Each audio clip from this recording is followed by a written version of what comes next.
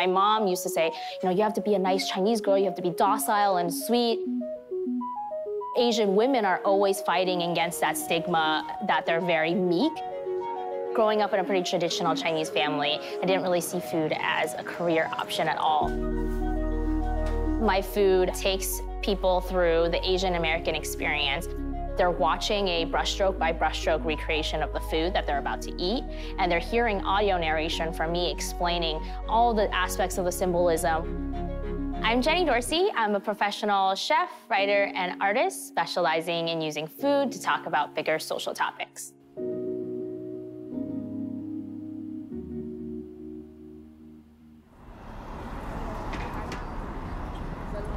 Growing up as a first generation immigrant here in the US, there was many times I felt my food culture was not accepted. I think it's really important for immigrant children, yes, but also just people in general to realize how powerful of an impact food has on their lives.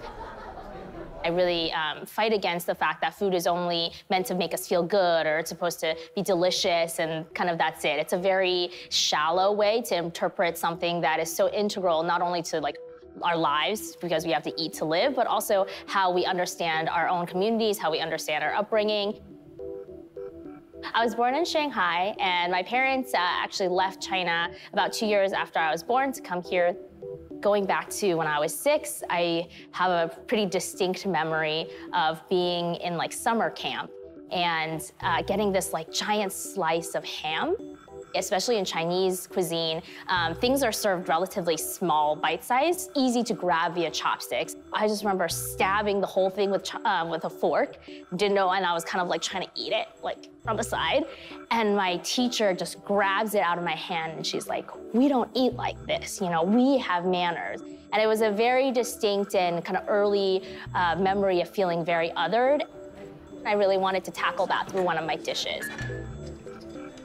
This one's the first VR course. Um, this one is called You Make Asian Food Right, and it's about, for a lot of minorities, definitely Asians, it feels like you always have to cook like ethnic food, and it, whereas you don't have the option. Whereas I think many times we've seen the food world, especially like oh, white men can cook anything. But if you're Asian, people always assume that's, that's the style of food you cook. And just feeling many times pigeonholed into what you can or cannot do. Once it gets that little sprinkle, it's ready. Growing up in a pretty traditional Chinese family, I didn't really see food as a career option at all. After I started a career in management consulting, I had like an existential crisis where I just didn't like my job. I could feel that it was sucking the life out of me. I didn't want to get up in the morning. So I applied early to business school at Columbia, got in, and essentially had nine months to do what I wanted to do. And immediately I just knew I wanted to go to culinary school. With that, I started a pop-up series as kind of like, you know, put my foot in the door, see how I liked it, um, called Wednesdays with my husband, who does mixology. We were trying to expand our repertoire of what we could do food and drink wise, but also bring people together in a deeper way. Everyone's here? Amazing. All right, game time, ladies.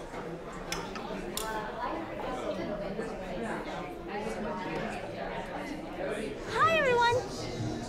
Thank you so much for being here tonight. We're really, really excited to have you all for the very first Asian America for 2019. Asian in America has been a project about specifically the Asian American identity and topics within that. Everything from you know, the white savior complex to substitutions, whether in food or in people, where people say Asians all look the same, um, to the mi model minority myth. And three of the courses are presented with virtual reality,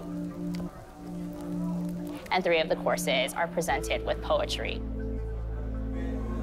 One of the other dishes is called stereotypes, and I don't think I need to go into how many of us are impacted by stereotypes, but what I also wanted to explore in that is that many times it is the minority that also imposes some of those stereotypes on the rest of their community.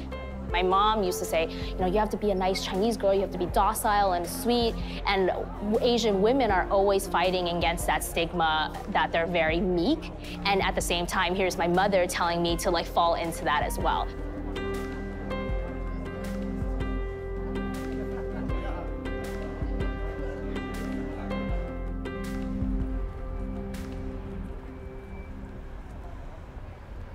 One of my earliest memories is going to Chinatown with my parents when we still lived here uh, in New York and being like, oh, it's so smelly and it's so gross and it's dirty and, you know, not liking it. And um, it's so ironic, you know, years later coming back and I'm like, oh, it's like so nostalgic. I miss all of this. And I'm not saying that all the fish stands always smell really great, but there's also a little bit of that like loving feeling that I get walking through Chinatown. So I hope that through my food and reading my writings, that they can un better understand what I was thinking about at that time and how my food has turned out this way. I'm trying out a new dish. This is called Toxic Masculinity. So the idea behind this dish is presenting something that is kind of delicate, something that's trying to mature and grow into itself, that's colorful and multifaceted on top of this hourglass here. And then at the base, um, I've created this uh, steak sauce. It's like so heavy, it's so overpowering, it's very unidimensional. But to actually eat the dish, you have to turn this hourglass over. Obviously, this is a pretty direct symbolic reference to time. Um, and with time, you flip everything over, the sauce drains on the dish, it totally ruins how it looks, it kind of uh, overpowers how it tastes, and you're kind of left with this, well, did I like the first version better? Like, what was the point? One, two.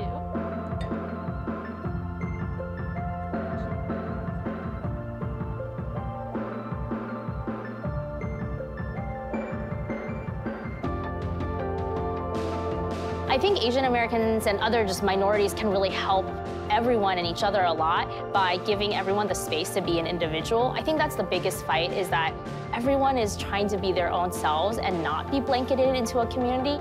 I hope that most people after the experience will go home and be able to take a good look at themselves. A, we're all complicit in so many problems in our society and how can we individually become better, but also maybe reevaluate aspects of their worldview that they hadn't before.